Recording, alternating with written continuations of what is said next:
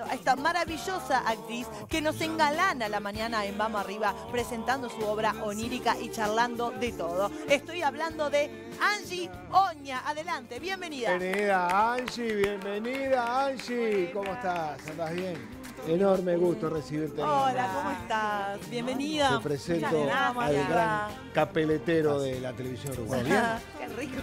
Qué rico. Ponete cómodo. Vas a poder disfrutarlo después en un rato cuando estén listos. Muy Porque bien. te puedes quedar a comer con nosotros. Como che. Bueno, gracias Como por, siempre. por- por aceptar nuestra invitación y este, bueno, contanos un poco también de esta, de esta obra cargada de sentimientos, de emociones, de, De energía, ¿no? De reverencia. reverencia, sí. Sí, bueno, es una obra que está dirigida por Freddy González. Una vez más tenemos como gran Esto parte de trabajar en pareja, viste, es una cosa. Un abrazo grande a Freddy, ¿eh? es un tipazo. Les manda a él un abrazo grande tipazo. también a ustedes y al Rusito. Este y a Andy. Y yo le mando también un abrazo un grande Claro a que sí, a seguro nos está Emma, que mirando. se llama con el Emma. personaje con de Emma. mi obra. Ah, mira.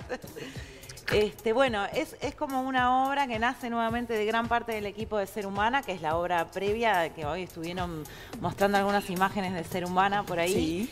Este, la obra Ser Humana iba sobre la vida y obra de Sabina Spielrein, que fue una mujer pionera del psicoanálisis, y esta obra onírica va sobre la vida y obra de Emma Goldman, que fue una gran activista anarquista por los derechos de las mujeres. La mujer más peligrosa los- de América. La rotularon la La mujer rotularon más, así, la más más peligrosa, peligrosa de América, América. y era un pan, la mujer, era muy gracioso porque quien la conocía no podía creer que, que se le diga así, Claro. o sea, estaba como, se corría, la, viste, como el viejo de la bolsa o el cuco, sí, sí, se corría la voz de que la el anarquismo y Emma Goldman era una come niños, una bruja mala, este, y bueno, esa era la, la historia oficial, ¿no? La realidad era que era una gran activista que trabajaba, que ponía el cuerpo por todo, por todas las causas y los derechos. Y, y bueno, en realidad, para, porque me fui por las ramas. Este, esto de la, de, la, de la mujer más peligrosa del mundo es muy gracioso porque ella lo único que hacía en, en sus últimos tiempos era hablar y concientizar. Entonces era una mujer muy peligrosa para el poder. Claro. Era una mujer muy, muy peligrosa para el poder, pero en, en, en cuanto eh, abría cabezas. Claro. Quienes participaban en sus discursos y cu- sus conferencias decían, o sea, y hay testimonios de gente que dice, no sé cómo, pero esta mujer te abre la cabeza, Era te muestra para una ellos nueva. era Claro, peligrosa. era muy, muy peligrosa para el poder. La terminan deportando, porque en realidad ella es rusa y viaja, era irreverente y contra la autoridad de muy pequeña. A mí me fascina, la admiro, admiro muchísimo su vida. Eh, de pequeña, bueno, con- eh, las autoridades, eh, ella tenía como, a ver, ¿cómo les puedo decir? Como naturalmente un sentido de la justicia y la humanidad que era como muy inteligente y, y desafiaba a, a quienes le ponían límites desde un lugar violento o desde un lugar no, no correcto, como quien dice, ¿no? Entonces era odiada por su profesor de, de catequesis, era, era odiada por sus profesores de muy pequeña porque ella veía cómo, incluso ella eh, contó cómo un profesor abusaba de sus compañeras y cómo un profesor quiso abusar de ella de muy pequeña, que quienes se portaban mal las hacía a las nenas quedarse y un día la puso en su falda y, le, y le fue, la fue a tocar y ella lo mordió y empezó a gritar como loca y empezaron y llamaron a todo el mundo a partir de ahí y el tipo después dijeron que estaba de, de vacaciones y evidentemente pasó algo ahí que ella intervino con esa actitud Claro.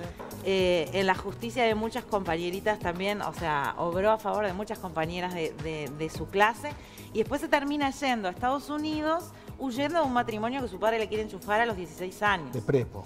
Entonces, claro, En la época en la también, ¿no? época, claro, pero ella no podía concebir que eso fuese algo natural, entonces dice, bueno, no.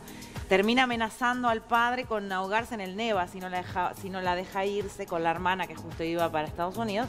Y el padre cede porque le da miedo que pase algo y se va para Estados Unidos. Y ahí empieza su periplo entonces. Ahí activista, empieza su eh. periplo porque justo cae en la época de los mártires de Chicago, Claro. donde empiezan a, a acontecer toda la lucha por las ocho horas y vive, o sea, ella no está en ese momento en Chicago, pero sí está en Rochester y lee los periódicos y toma contacto con prensa. em, con, con publicaciones anarquistas y empieza a leer lo que pasa, lee de, la, empieza a seguir todo el, el juicio de los mártires de Chicago, lee su postura en el juicio, se siente absolutamente admirada por la honestidad y la integridad de estos hombres, el lugar desde donde hablan. Y bueno, y cuando cuelgan a cuatro de ellos, que en realidad eran cinco los que iban a ser colgados, pero uno se suicida el día anterior en la celda y, otros este, les dan prisión a dos eh, cadena perpetua y a otro 15 años que terminan creo que a los siete años liberándolos porque el, gobierno eh, declara que fue un fatal error. Fatal error donde asesinan y ahorcan a cinco personas inocentes Em, y Emma Goldman no, puede creer esa injusticia. A partir de ahí se convierte en una mujer anarquista, activista. Va a buscar a Johann Most, que era un, alemán que sacaba un periódico anarquista en Chicago, no, en Nueva York, perdón. Lo va a buscar. Eh, bueno, empieza, eh, deja a su marido que se había casado, porque es algo que no entiende mucho, empieza a practicar el amor libre, en una época tiene tres parejas. evidentemente para esa época es una locura, es, tremendo. Ahora, yo, eh, o sea, porque escucho y conociendo tu trabajo, tu obra, hay un diferencial, este, y es la investigación que vos desarrollás para poner en escena, un, espectáculo. Este, pasó con, Ser Humana, pasa ahora. Eh, es válido, ¿no? Que, un productor o que un director o que sea compra los derechos de una obra, es válido, o sea, funciona, está muy bien.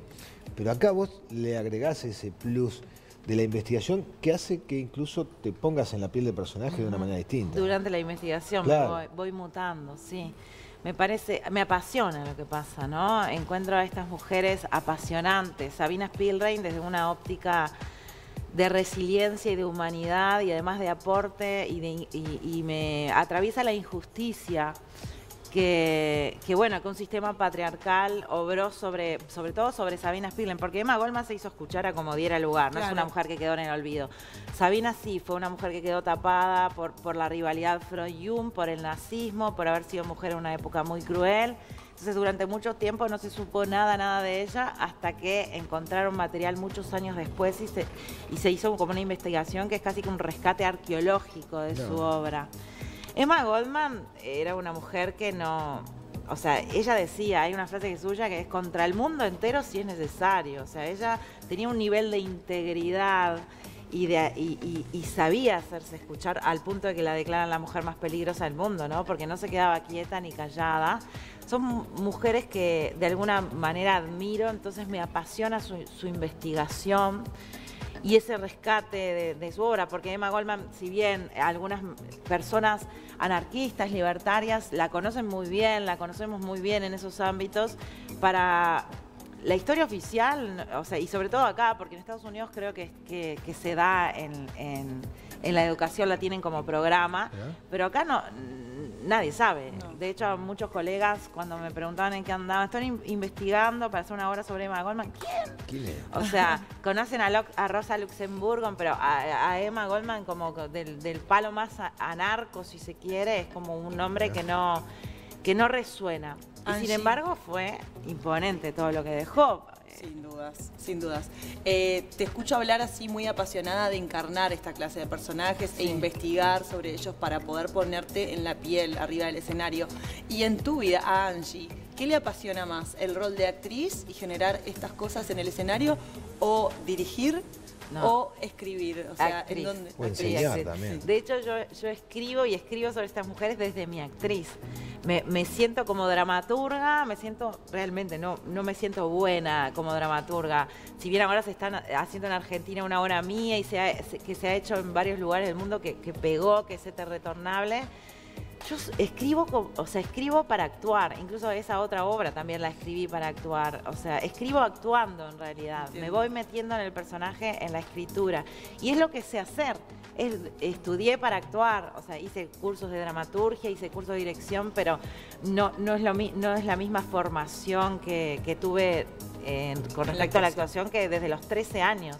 Me metí a estudiar actuación hasta que egresé de la EMAD y después de egresar de la EMAD seguí estudiando y sigo estudiando. Cada vez que veo un curso que está bueno me meto porque la actuación es lo que, lo que me apasiona. Cuando dirijo, dirijo desde mi actriz. Cuando escribo, escribo desde mi actriz. Cuando doy clases, doy clases desde mi actriz y por eso me fascina dar clases porque creo que mi cuerpo atravesó por ciertas cosas que puedo convidar de alguna forma. Qué lindo eso, qué maravilla. Tremenda docente de teatro, además. Bueno, este, nuestra querida Lourdes Ferro fue este, alumna de teatro de... Hoy la vi hace un rato en la pantalla, le mando un abrazo enorme. Así que le mandamos un beso grande. Marcelito Garmendia, nuestro productor, también hizo un taller, con, con Angie.